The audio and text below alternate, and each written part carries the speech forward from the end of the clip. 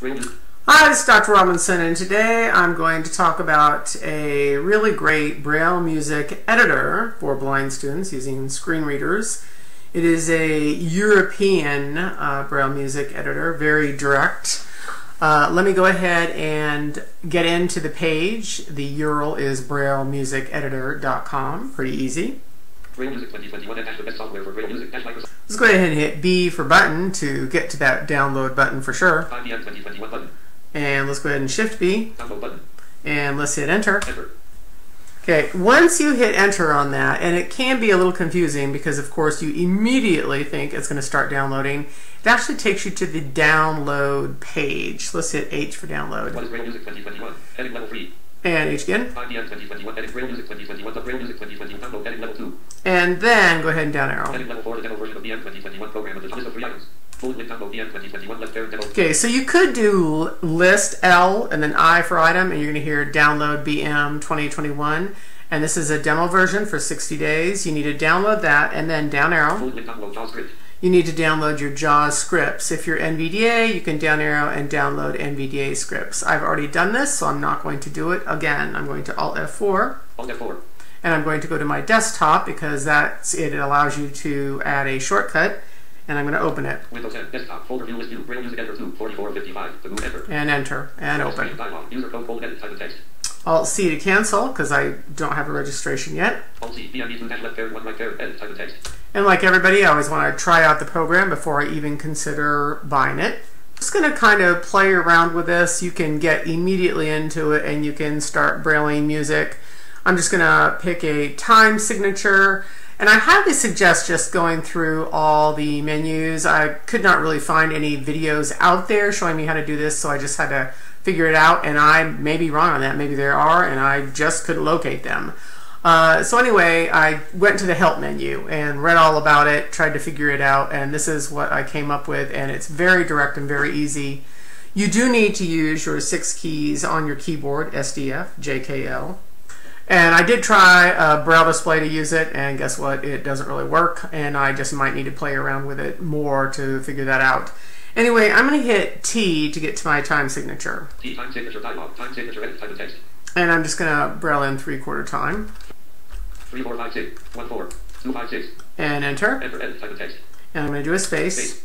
I'm going to keep it easy. I'm going to go ahead and do happy birthday to you. And keep in mind, I am very much a beginner at this. Four six. One five six. No time. One four five. One four five. One five six. One five six. Two four five six. One two three four.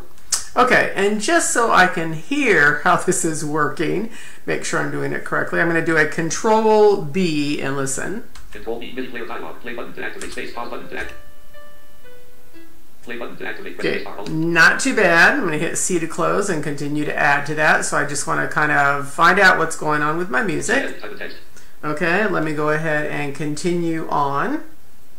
3, 4, 5, 6, 1, 4, 2, 5, 6, 4, 6, 1, 4, 5, 1, 4, 5, 1, 5, 6, 1, 4, 5, 6, 1, 2, 4, 5, 6, 1, 2, 3, 4, 1, 4, 5, 1, 4, 5, 1, 5, 6, one four five six. One two five six. One three four five. One four five. One four five. Five six. One four five six. Two four six. One two four five six. One two four six. One five six. One two six. Four six. Two four five. Two four five. Two four six. One two four five six. Two five. One, two, three, four, five. Three. Okay. And uh, let's see if it sounds like I want it to sound. I'm going to go ahead and do a Control B and listen. I think I'm going to insert space S to hush my JAWS. And of course, you can see the purpose of JAWS because it's telling you, of course, the keys that you're typing in. So I'm going to insert space S and hush him up first. Okay, the advantage of having a Braille display is you can actually uh, see what's going on when you do a command. So when I do a Control B, of course, you're going to see the play button. Okay, and I see the play button, I can enter.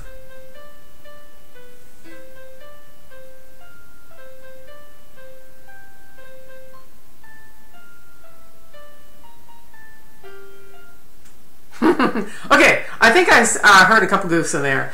Uh, anyway, I could easily, uh, I can go ahead and hit C to close. And I can insert space S. And I can left arrow. And I can go back through this and I can make adjustments to the keys as I want to.